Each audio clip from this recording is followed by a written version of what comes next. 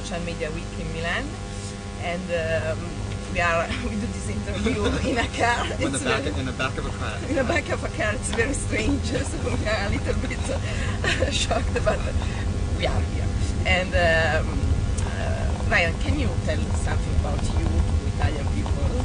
Sure. Um, my name is Ryan Davis, and uh, my day job is I'm the executive director of social innovation at Blue State Digital, uh, which is a great firm that does uh, a, lot of great work for clients uh, ranging from Barack Obama to the NAACP. Uh, we worked uh, in, in France uh, on Hollande's campaign, and uh, um, just done a lot of work around the globe. And uh, the side project here that I'm talking about is the 42012, which was a marriage equality campaign that I came up with with a few of my colleagues in, in New York that targeted four states that had marriage equality in the ballot in November last November. Yes, here in Italy, in very few days, we vote uh, for uh, Right. the new parliament. So, uh, and this is the first campaign, probably the first campaign that uh, in which politics are using uh, a lot of social media, but uh, mm, something new. Right. I don't know if you see in these uh, two days that you are arrived here in Italy, uh, what to do uh, Italian politics with the social media, with the Facebook, with Twitter. What Yeah. can you say? You know, I've been I've uh, I've been lucky enough to have a lot of conversations with some really smart uh, social media strategists here in Italy, and the feeling is that uh, this is the first election where uh, politicians have embraced social media, and that there's, there's one uh, candidate who's a comedian um, who has who has really embraced social media, and, and, and he's sort of the social media candidate. Uh, I think that you guys are sort of where we were in 2004, um, and so this will be like the sort of kind of test election cycle, and then next election cycle will be all out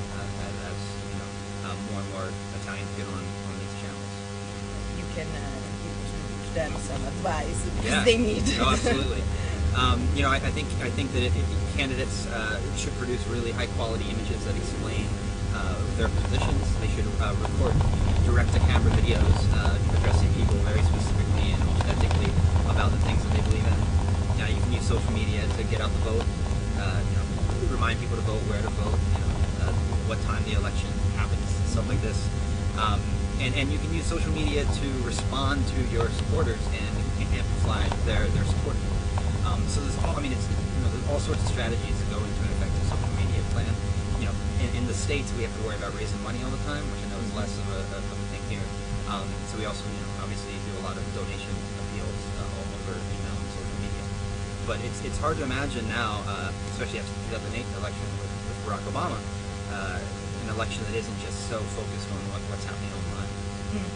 And uh, especially on marriage equality, that uh, uh, here it's probably the first time that uh, marriage equality sometimes uh, Right. uh, politi- politicians are talking about in this campaign, but uh, for in Italy it's very different from the United States. Uh, for us, it's a very uh, it's, a, mm, it's something that uh, mm, a lot of people don't understand. Right.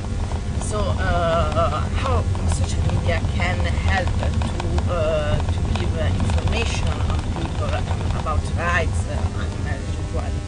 So I think the first step is showing how normal uh, gay couples are. You know, they're just the same old boring relationships that, that everybody else has. You know, they, they go through the same the same uh, relationship struggles and, and happinesses that everybody else does. And I think that you know once people begin to understand that, that they, they tend to ease up a little bit.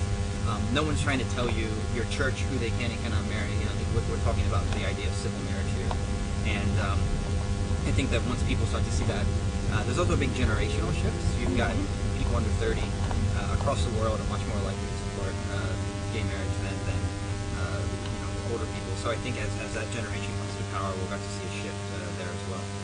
Yes. And uh, uh, mm, can you give me some example that uh, about something that you do in uh, United States on marriage equality uh, on social media that uh, work very well? Sure. Um, one of the things that we found to be really successful is to provide people with uh, content that had a lot of utility. So content that had real value that told them how they were supposed to vote in each of these four states. Because sometimes the, way you describe the, the you know, it's yes or no, it doesn't. It's not always clear what is what the, the good vote is for marriage equality. Uh, we found that to be really useful. We found uh, celebrity quotes, uh, you know, showing that a lot of people around uh, the country um, who are famous for whether they're in sports or entertainment or politics uh, support marriage equality. So that was a, a, a big thing for us, sharing those images, sharing those graphics, um, and, and, you know discussing I think uh, uh, the issue of fairness, where, uh, and, and, what plays really well with Americans if we do consider ourselves, you know, to try to create fairness for all on some level. Um, so you know, showing me had a lot of images of, of normal couples and, and the struggles they went through. We also produced a great documentary series with uh, Yeah. New Left Media.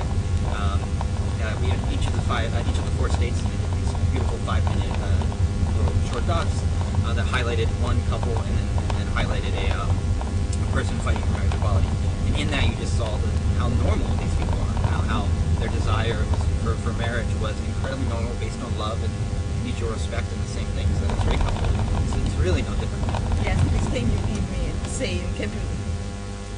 Same for Italy. same, same things. It would be great. I, I, you know, Need it. I, I think so. I mean, I think that you know we're seeing what we're seeing in Europe, with France and the UK. Um, I know it's not directly uh, comparable to, to Italy. You know, there is definitely movement now outside of the countries like uh, Denmark and Sweden that you know do everything first.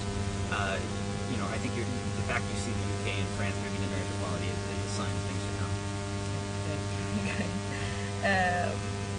which is your favorite American campaign? My favorite American Yes. campaign. Uh, The like- last one or?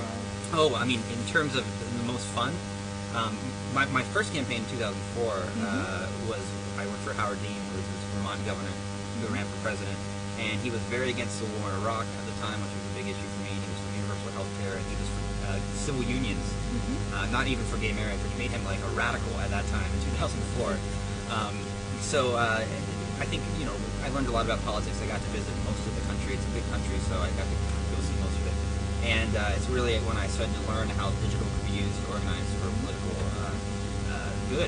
And actually, the company I work for um, came out of the, the Dean campaign. Two of our co-founders, uh, uh, Joe Rospars and, and, and Jascha, uh, were both worked on the web team and, and came right out of that and started this company. So, in a lot of ways, that's my favorite campaign because I'm most involved with it. But also, it, it sort of began the, the internet explosion in. How do you become a consular for? Uh, you know, my, my story is, is, is, is sort of unique. It's sort of the Howard Dean story. I mean, I, uh, I, I was very angry about the war in Iraq, and uh, I, I was doing a lot of theater stuff in New York, and I, I literally just uh, sublet my apartment and drove to Burlington, Vermont, knocked on the door, and said, you know, I'd love, I'd love to come work with this guy and help make Howard Dean president. I didn't have that much uh, campaign experience. I had digital experience. I've always been sort of um, and then once I got back from that campaign, uh, there, there weren't that many people in the political space at that time who understood digital, and so I had a I could go from campaign to campaign pretty easily. So that's how I became this political strategist. I read that uh, you are working also for theater. Yeah. correct? Yeah, my, my you know my, my education is in, is in theater direction. I'm a, I'm a heck of a theater director, um, and, and, and, and, and you know, but what we do online, what we do digitally is tell stories. What theater is about is telling stories. So know, whenever I'm thinking about a good digital campaign, there's always a story with a beginning, middle, and an end. Uh, elections have that built in because the end is winning or losing. Um, but with brands and, and nonprofits, you have to sort of create that narrative. So I, I find it challenging and interesting, and, and, and still about telling a good story. But, uh, political and theater are not so different. No, not so different. Not so different. it's uh, it's useful for uh, politics to study also theater or something. Yeah, I, I think I that. was thinking about uh, King George. Well, if you if you if you if you look at um, the Republican National Convention versus the Democratic National Convention, and the quality of those as theater pieces, you can really tell who's got the more artistic uh, uh, support. You know, Obama's was this beautiful, well-produced event, and, and the Republicans was sort of choppy and weird, and you know, you felt like the stage was going to fall apart at any moment. So, you know, definitely having having crea- uh, a creative background is,